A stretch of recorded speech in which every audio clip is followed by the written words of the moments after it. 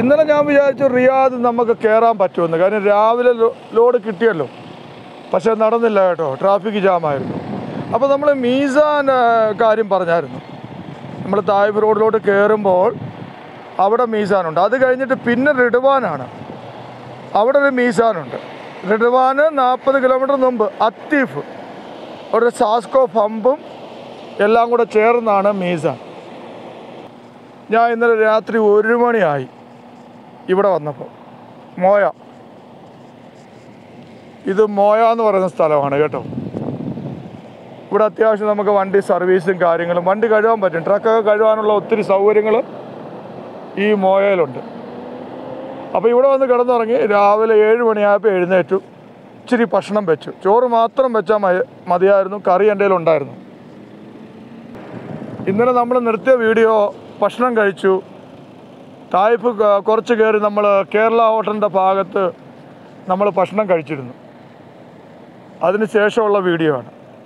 ഞാൻ പിന്നെ വിചാരിച്ചു എന്നാൽ വിട്ട് പാന്ന് വിചാരിച്ചു പക്ഷേ നടന്നില്ല.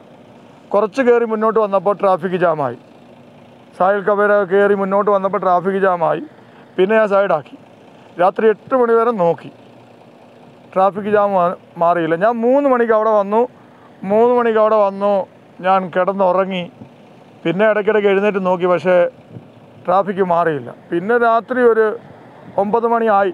ഒമ്പത് മണിക്ക് അവിടെ നിന്ന് പിന്നെ നമ്മൾ വണ്ടി എടുത്തു.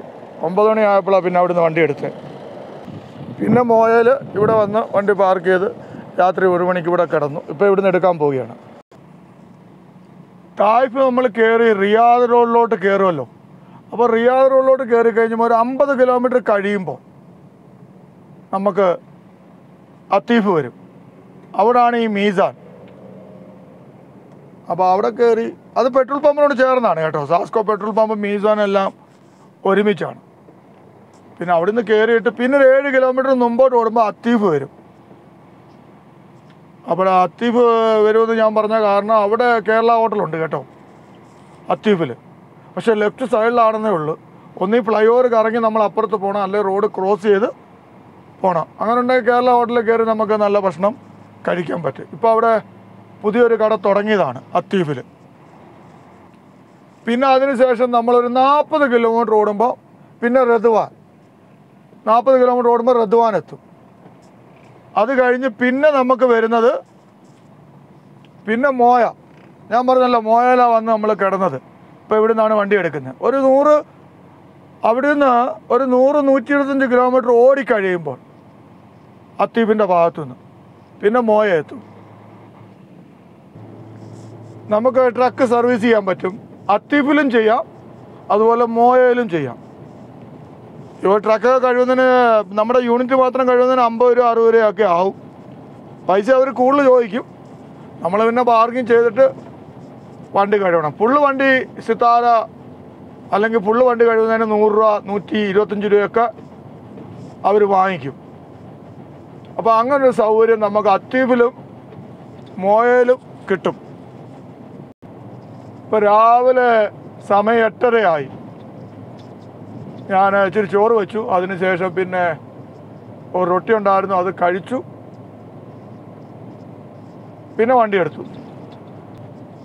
റിയാദ് റോഡിൽ കയറിയാൽ പിന്നെ നമുക്ക് പിന്നെ അല്ലാത്ത ഓടിക്കാം. ഇവിടെ പിന്നെ മീസാനും അങ്ങനെയുള്ള കാര്യങ്ങളൊന്നുമില്ല. പിന്നെ അത് നമുക്ക് റിയാദ് ക്രോസ് ചെയ്ത് കഴിഞ്ഞിട്ടേ ഉള്ളൂ. പിന്നെ ഇടയ്ക്കിടയ്ക്ക് ചെക്ക് പോസ്റ്റ് ഉണ്ട്. അതൊന്ന് നോക്കിയാൽ മതി. ഇനി ഇവിടുന്ന് റിയാദ് അഞ്ഞൂറ്റി എഴുപത്തി ഏഴ് പിന്നെ ദലീം അമ്പത് കിലോമീറ്റർ.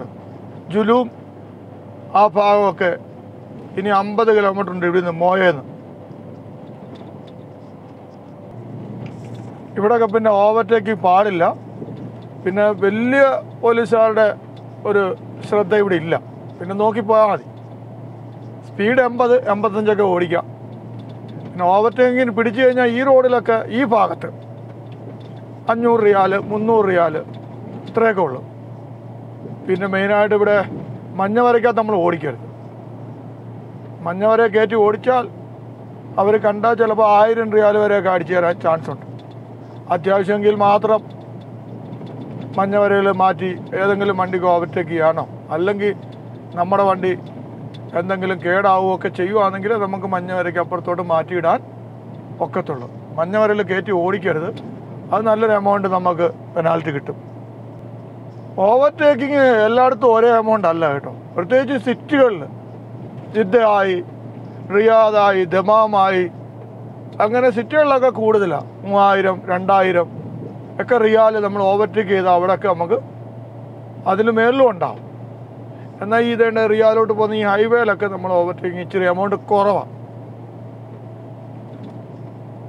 അതുകൊണ്ട് മനസ്സിലാക്കുക എല്ലായിടത്തും ഓവർടേക്കിങ് എമൗണ്ടിന് വ്യത്യാസം ഉണ്ടാവും. സിറ്റികളിലൊന്നും പ്രത്യേകിച്ച് റിയാദ് ദമാം റിയാദ് റോഡിൽ ഒട്ടും ചെയ്യരുത്. സിറ്റികളിൽ ചെയ്യരുത്. അവിടെയൊക്കെയാണ് എമൗണ്ട് കൂടുതൽ. പിന്നെ ഫോണ് നമ്മൾ കൈ വെച്ച് സംസാരിച്ച് ഓടിക്കുക. കൈ പിടിച്ചാലേ ഉള്ള പ്രശ്നം. അത് പിന്നെ എല്ലായിടത്തും ഒരേ എമൗണ്ടാണ് പിന്നെ സീറ്റ് ബെൽറ്റ് എല്ലായിടത്തും ഒരേ എമൗണ്ടാണ് പിന്നെ ടയർ പൊട്ടിക്കിടന്ന് ഓടിയാൽ ചിലപ്പോൾ നമ്മൾ ടയർ വല്ലതും പഞ്ചറായി ഓടുന്നത് അവരുടെ ശ്രദ്ധയിൽ പെട്ടാൽ അതിനും പെനാൽറ്റി ഉണ്ട്. പിന്നെന്തോ ഹെഡ്ലൈറ്റ് ലൈറ്റ് ഇല്ല രാത്രി ഒരു ലൈറ്റേ ഉള്ളൂ. അല്ലെ സൈഡിലെ പാർക്ക് ഒന്നും കത്തുന്നില്ല. അങ്ങനെ വരുമ്പോഴും നല്ല എമൗണ്ടാണ് അഞ്ഞൂറ് മുതൽ ആയിരം വരെയൊക്കെ എമൗണ്ട് ലൈറ്റ് ഇല്ലാതെ ഓടിയാൽ അടിച്ചു കിട്ടും. അപ്പോൾ രാത്രി സന്ധ്യയാകുമ്പോൾ ഇറങ്ങി ലൈറ്റ് ഇട്ട് ഹെഡ്ലൈറ്റും എല്ലാം കത്തുന്നുണ്ടോ എന്ന് ശ്രദ്ധിച്ചിട്ട് പിന്നെ വൈകിട്ട് വണ്ടി എടുക്കാവും. ചിലപ്പോൾ നമ്മൾ അറിയത്തില്ല. ഈ റോഡിന്റെ വെളിച്ചം കാരണം ലൈറ്റ് ചിലപ്പോൾ ഒരു സൈഡിലൊക്കെ പോയാൽ നമ്മൾ അറിയത്തില്ല. അതുകൊണ്ട് എപ്പോഴും നമ്മൾ ഇറങ്ങി നോക്കി വൈകിട്ടാകുമ്പോൾ ലൈറ്റ് ഇട്ട് നോക്കിയതിന് ശേഷം വണ്ടി എടുക്കുന്നതാണ് നല്ലത്.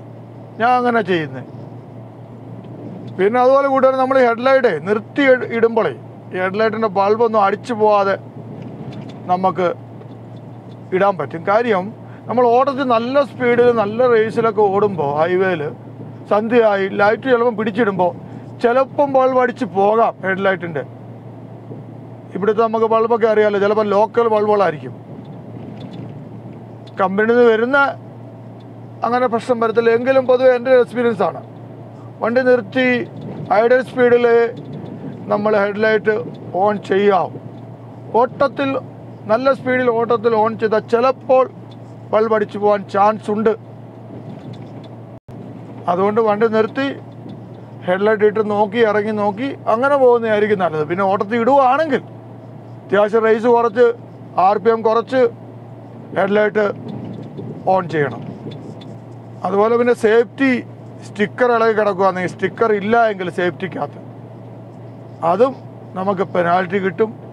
സേഫ്റ്റി എല്ലാം പൊട്ടിക്കിടന്ന് ഓടിയാലും അതും പിടിച്ച് പെനാൽറ്റി അടിക്കും. പിന്നെ അതുപോലെ ടയറൊക്കെ നമ്മൾ ചിലപ്പം ത്രീ ആക്സിലിന്റെ ടു ആക്സിലിന്റെ ടയർ അടിച്ച് പൊട്ടിക്കുമ്പോഴേ മൽകാട് ചിലപ്പം വളയും. മൽകാട് ചിലപ്പം വളഞ്ഞ് പൊട്ടും. അപ്പം ആ ഒരു സാഹചര്യത്തിൽ ഇരുമ്പിന്റെ മൽകാടൊക്കെ ആണെങ്കിൽ അത് തർത്തിപ്പ് ചെയ്തിട്ട് ഓടിക്കാവും. അല്ല ആ രീതിയിൽ നമ്മൾ ടയർ മാറ്റി നമ്മൾ മൽഗാട് റിപ്പയർ ചെയ്യാതെ ഓടിച്ചാൽ പെനാൽറ്റി ഉറപ്പാണ്. ചെക്ക് പോസ്റ്റിലൊക്കെ ചിലപ്പോൾ പിടി വീഴും നമ്മുടെ മൽഗാട് വളഞ്ഞിരിക്കുന്നതെല്ലാം കണ്ട് കഴിഞ്ഞാൽ അവരൊക്കെ ചിലപ്പോൾ പെനാൽറ്റി അടിച്ചു തരാം. അല്ലെ പിന്നെ നമ്മൾ അതിന്റെ കാരണങ്ങളൊക്കെ പറഞ്ഞ് മനസ്സിലാക്കണം. മനസ്സിലാക്കിയാലെന്തോ അവർക്കത് മനസ്സിലാവണം. ഇല്ല പിന്നെ ജീവ അക്കാമ എസ്റ്റിമാർ എന്ന് പറയും. പിന്നെ പോയിക്കോളാൻ പറയും. അത്രയേ ഉള്ളൂ. ഇതിന്റെ അർത്ഥം? പിന്നെ നമുക്ക് പെനാൽറ്റി വരും. പിന്നത്തെ കാര്യം എന്തുവാ? നമ്മൾ മീസാന് വെയിറ്റ് വണ്ടിയുടെ ലോഡ് തൂക്കത്തില്ലയോ? മീസാൻ കയറുമ്പോൾ നമ്മുടെ ത്രീ ആക്സിലിന്റെ ഏതെങ്കിലും ടയർ പഞ്ചറോ അല്ലെങ്കിൽ പൊട്ടിയോ? ഇരുന്ന സമയത്ത് നമ്മൾ കയറിയാൽ അവിടെ മീസാന് നമുക്ക് പെനാൽറ്റി അടിച്ചു തരും. ടെൻ തൗസൻഡ് ആണ്. ത്രീ ആഴ്ചയിലൊക്കെ ടയർ പൊട്ടുവോ അല്ലെങ്കിൽ കാറ്റൊട്ടും ഇല്ലാതെ നമ്മൾ മീസാൻ കടന്നാൽ. ഒരുപക്ഷെ നമ്മളത് അറിയത്തില്ലായിരിക്കും. പക്ഷെ അവർക്കത് ക്യാമറയെ കാണാൻ പറ്റും. അത് നമുക്ക് നല്ല പെനാൽറ്റി അടിച്ചു തരും. പത്ത് രൂപയെങ്കിലും ടെൻ തൗസൻഡ് ഇങ്ങനെ റിയാൽ വീഴും. അതുകൊണ്ട് അതൊക്കെ ശ്രദ്ധിക്കുക. മീസാനിൽ കയറുമ്പോൾ നമ്മുടെ ടയറിന്റെ ആക്സിലിന്റെ എല്ലാ ടയറും ഓക്കെ ആണോ നോക്കണം. അതുപോലെ ബലൂൺ ഇപ്പോൾ ത്രീ ആക്സിലൊക്കെ ബലൂൺ ആണല്ലോ എയർ ബലൂൺ ഏതെങ്കിലും ആക്സിലിന്റെ ഒരു എയർ ബലൂൺ പൊട്ടി അല്ലെങ്കിൽ എയർ ബലൂൺ വർക്കാവാതെ നമ്മൾ മീസാനിൽ കയറിയാലും അവരത് നോട്ട് ചെയ്താൽ നമുക്ക് പെനാൽറ്റി ഉറപ്പാണ്. നല്ല എമൗണ്ട് പെനാൽറ്റി അടിക്കും. അപ്പം ബലൂണൊന്നും പൊട്ടി നമ്മൾ മീസാനിൽ കയറ്റരുത് വണ്ടി. കാര്യം അങ്ങനെ കയറ്റുമ്പോൾ ടയർ പഞ്ചറായോ അല്ലെങ്കിൽ മീ ബലൂൺ എയർ ബലൂൺ പൊട്ടിയോ അത് വർക്കാവാതെ നമ്മൾ മീസാൻ കയറ്റിയാൽ അതിന്റെ അർത്ഥം അവർക്ക് ശരിയായിട്ട് വെയിറ്റ് അതിൽ കാണാനൊക്കത്തില്ല. വണ്ടിയുടെ കറക്റ്റ് ലോഡിന്റെ വെയിറ്റ് അതിലവർക്ക് അറിയാൻ പറ്റത്തില്ല. അതുകൊണ്ടാണ് അങ്ങനെ ചെയ്യരുതെന്ന് പറഞ്ഞു അതുപോലെ ഞാൻ ഈ പറയുന്ന കാര്യങ്ങളൊക്കെ അനുഭവമുള്ള മച്ചന്മാരുണ്ടെങ്കിൽ മീസാനിലൊക്കെ കയറ്റുന്നതിന്റെ രീതി അവിടെ ഏതൊക്കെ വിധത്തിൽ നമുക്ക് പെനാൽറ്റി കിട്ടും എന്നുള്ള കാര്യങ്ങളൊക്കെ നിങ്ങളൊന്ന് കമന്റ് ഇടണേ. അപ്പോൾ ആയിക്കോട്ടെ കൂട്ടുകാരെ ഇനി മുന്നോട്ട് വന്നിട്ട് എടുക്കാം. വീഡിയോ. നന്ദി നമസ്കാരം.